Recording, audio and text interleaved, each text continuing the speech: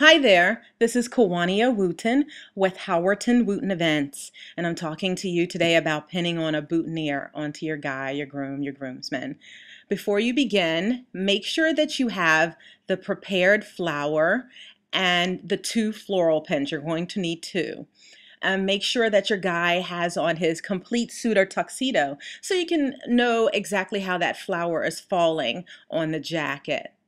You're going to place the boutonniere on the left lapel and ensure the flower is in the front with the greenery arranged behind it. Your florist or wedding planner can help you with this.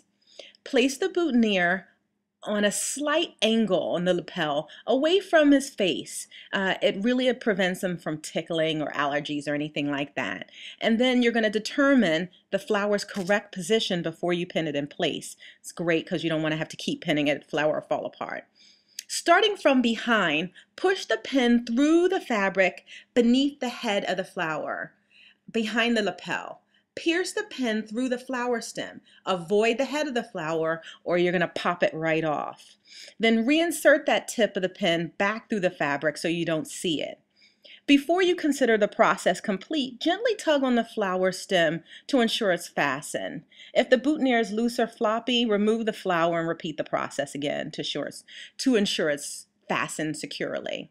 Then repeat the process with the second pin. And then if, if you do all of that, you have perfection. Now here's a little tip. When ordering boutonnieres for your guy, especially the groom, we recommend you order a second one for him. The first one will more than likely get smushed from all the hugs during and after the ceremony, so you want to make sure he has a nice fresh one for the reception. We'd like to thank everybody that helped us with this tutorial, especially the grooms and the groomsmen, and uh, all the photographers who let us use their amazing work. Thank you so much. Have a great day.